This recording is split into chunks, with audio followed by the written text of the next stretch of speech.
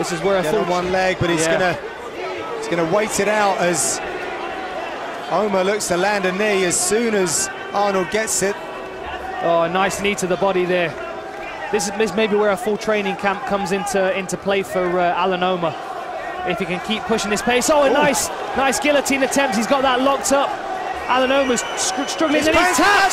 Wow! There is a victory in his octagon debut.